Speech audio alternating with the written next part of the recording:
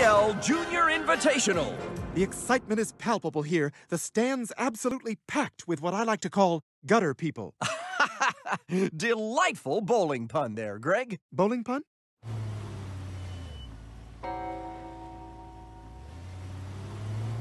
Try to keep me from the biggest tournament of Steve's life. Fat chance. He's gonna win this thing.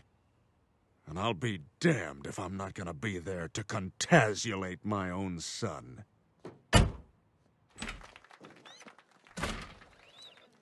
Better hang out in the back so as not to draw attention.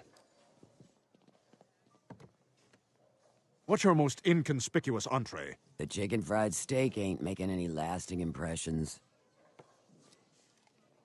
And the ball is loose! It all comes down to this. Knock down just one more pin, and you'll qualify for a spot on the Pro Tour. That's right. Steve's days of bowling and lame-ass father-son tournaments are about to be over. Oh, I didn't realize. But I guess that's the sacrifice you have to make to be the best. I've let this go too far. It's time to make things right.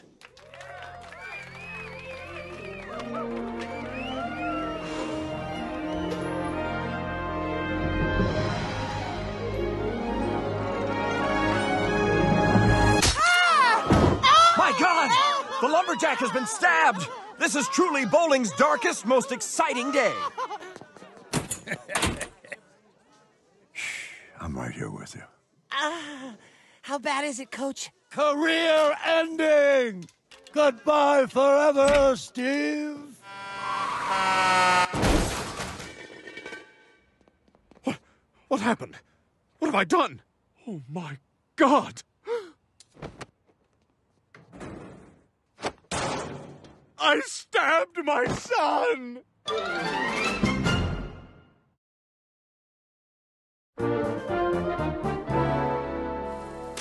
I still can't believe I stabbed my own son! But that's all in the past now. You've got your boy back, so now you're just gonna focus on reconnecting with him and never letting him go.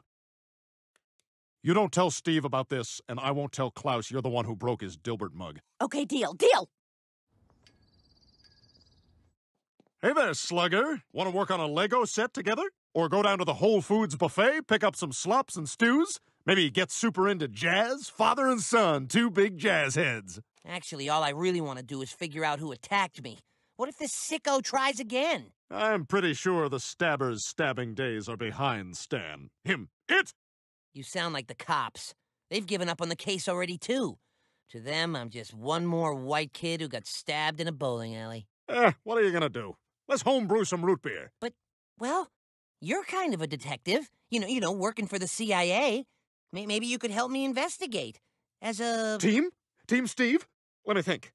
From what I recall, the stabber covered her tracks perfectly, so. Yeah, father son time, let's do it! Okay, this is where the attack occurred. Hmm.